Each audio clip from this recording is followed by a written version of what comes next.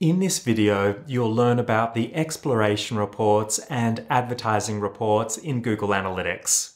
Exploration reports let you create custom reports so you can drill down into your data. And the advertising reports are the dedicated attribution reports, which let you see how your different marketing channels work together to drive conversions. This is the fourth lesson in the Google Analytics training series. If you've missed the previous lessons, you can find links to them in the description below this video. We're going to start by covering the exploration reports, which let you combine dimensions and metrics to create your own custom reports. Let's head to Google Analytics.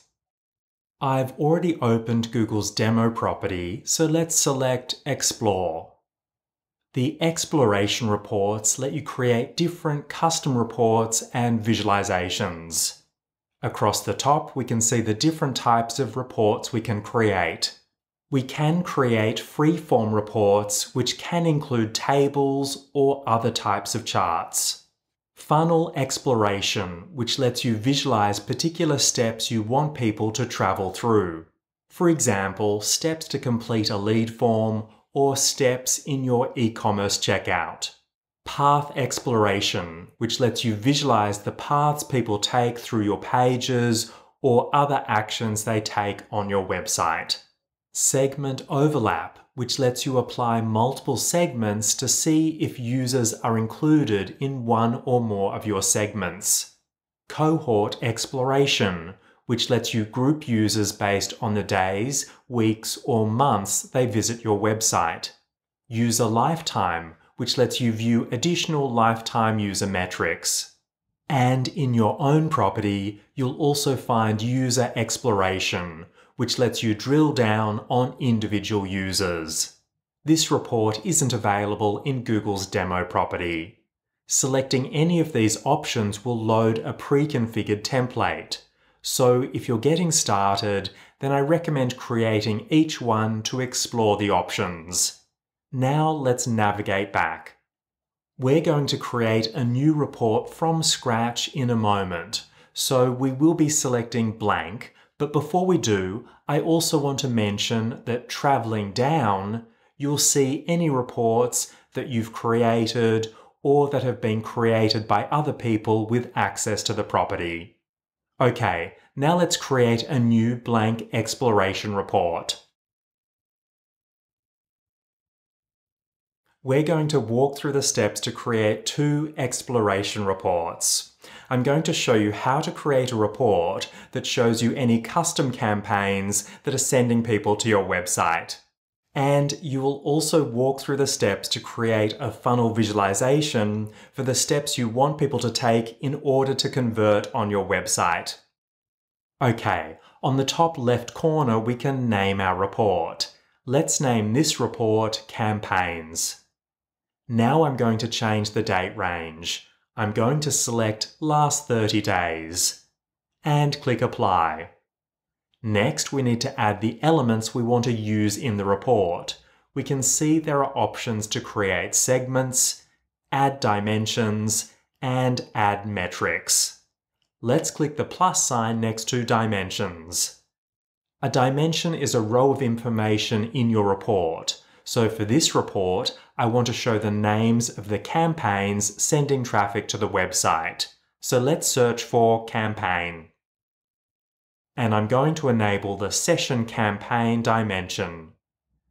There are lots more dimensions you can choose from, but we're going to keep things simple, so let's click confirm. Now let's click the plus sign next to metrics, and let's search for and select sessions.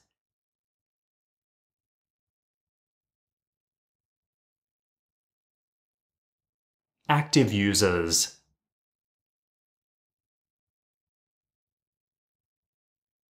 And key events, which are used to report on conversions. Now let's click Confirm. Now we need to add the elements to build our report. We can double click to add them or drag them. Let's double click Session Campaign to add it under Rows. And let's double click Active Users sessions, and key events to add them under values. We can see that the first few rows aren't for campaigns, so direct, not set, and organic. We need to remove these. To do this, we're going to add a filter to our report. Let's scroll to the bottom of the second column. Select Filters and choose Session Campaign. Now let's choose Does Not Match regex, which lets us enter a regular expression. This is more advanced, but just copy what I'm about to enter and you'll be fine. And if you would like to learn more about regular expressions, then check out the extra resources below this video. Now I want you to enter caret backslash open parenthesis full stop asterisk backslash close parenthesis dollar sign.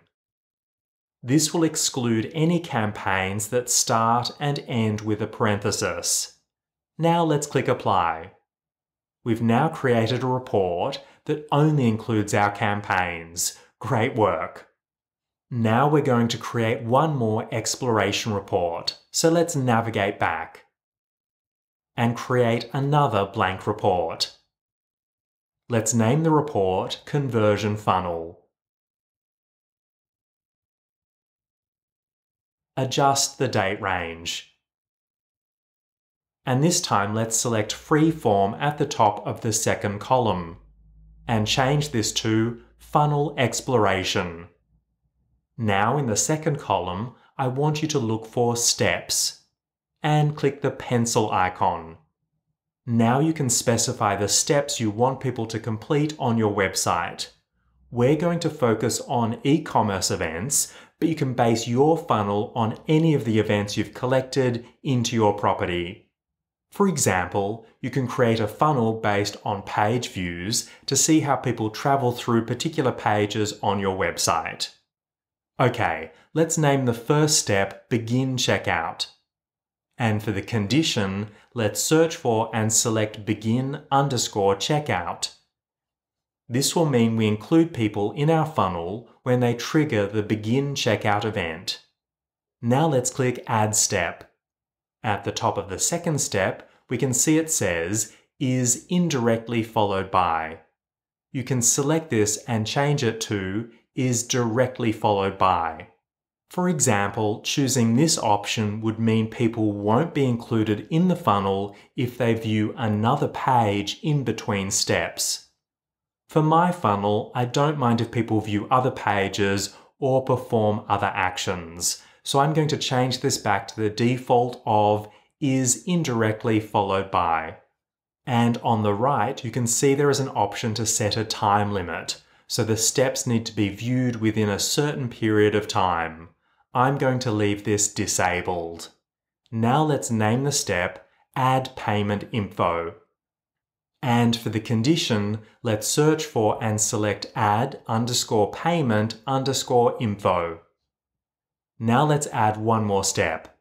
Let's name the step purchase. And for the condition, let's search for and select purchase. Now let's click Apply on the top right corner. We can now see the steps we've defined and the visualization at the top shows the number of users who make it through each step. Below the visualization, you can see the number of users who drop off at each step. And you can see a breakdown of metrics for the funnel in the table you can customize your funnel report further. For example, you can enable the Make Open Funnel, which means users can enter the funnel at any step you've defined, rather than needing to travel through the first step. And you can change from a standard funnel to a trended funnel to see the trend for users based on the funnel step and the date range. Now that we've looked at the exploration reports, we're going to cover the advertising reports in Google Analytics. These let you view the relationship between your marketing channels and view the performance of any Google Ads campaigns. Let's navigate to advertising. The advertising snapshot provides a top-level summary for your marketing channels. At the top, we can see the performance for any Google Ads campaigns. This lets you compare the total number of conversions to those coming from Google Ads. So this shows you performance for conversions configured in Google Ads. Moving down, we can see the overall number of key events broken down by channel. If there are any automated insights, they will appear on the snapshot. And traveling down, we can see the top paths leading to key events. The conversion performance report is like the card at the top of the snapshot we just looked at. It lets you compare the performance of your Google Ads campaigns to the overall performance of your marketing channels. At the top, you can adjust which Google Ads accounts are included in the report and which conversions from these accounts should be used in the report. Now let's open the Attribution Paths report. This report provides a visual representation of the marketing touchpoints people engage with before converting by triggering a key event. For example, we can see some rows show us that some users engage with our organic search listings multiple times before converting. And as you travel through the rows in the report, you will also see paths that include multiple channels. This helps you understand the relationship between your channels and how they drive key events on your website. I also want to highlight that you can customize the report by changing the dimension used for the paths, by changing the attribution model used for the report, and by choosing which key events are used in the table and visualization. The next report is the Attribution Models report. This report lists our marketing channels on the left. And moving to the right, we can see the number of key events and revenue for each channel. These metrics are reported twice. The first set of metrics use the last click attribution model, and the second set of metrics use the data-driven attribution model. So the report allows us to compare how credit is given to our marketing touchpoints based on these two different models. On the very right of the report, we can then see the difference between the two models. So we can see the percentage increase and decrease when we compare them. And we can also change the attribution models we are comparing in the report. To do this, we can select a new model from the drop-down. I'm going to leave the defaults. To use the report, we want to look for significant changes between the models. Changes that have a positive percent mean we're potentially undervaluing the marketing channel when we use the last click model. And a negative percent tells us that we're potentially overvaluing a marketing channel when we use the last click model. Next up are the planning reports. Let's select the All Channels report.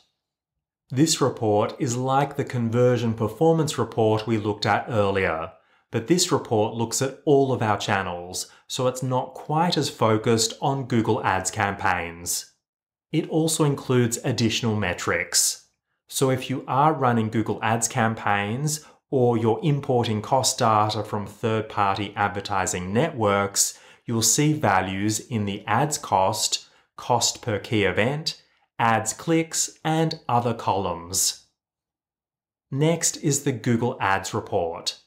This is just like the All Channels report, but focused on your Google Ads campaigns. It also lets you access additional Google Ads dimensions to report on campaign performance. You can change the dimension using the drop-down. Under Tools, you will find Conversion Management and Advertising Segments. Conversion Management lets you view all of the conversions that have been configured for any linked Google Ads accounts. And you can also configure new conversions to use in Google Ads. Finally, the Advertising Segments report lets you view how many users are available for targeting purposes in Google Ads. This lets you see if your audience lists meet the minimum list sizes for remarketing campaigns. So that's how you can create custom exploration reports in Google Analytics and an introduction to the advertising reports. Are you going to create an exploration report? And which type will you create first? I'd love to know. Let me know in the comments. And to learn more about Google Analytics, please take a moment to subscribe to this channel. I will be releasing more tutorials. In the next tutorial, we'll cover important configuration options, so stay tuned. Thanks for watching, and I'll see you in the next video.